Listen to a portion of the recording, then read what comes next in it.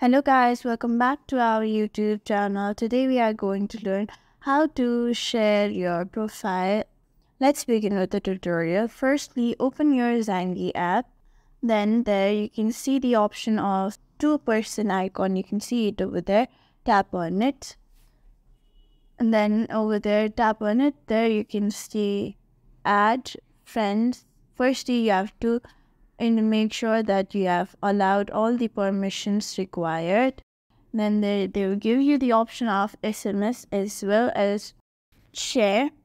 Tap on the share icon. There you can see the option of Instagram. I'll tap on Instagram and send it to one of my friend. Then they'll they will get the link so the you can directly contact. Uh, then uh, they will directly be able to contact you contact to your Zangi account. Thank you for watching this video. Make sure you like, share and subscribe to our YouTube channel.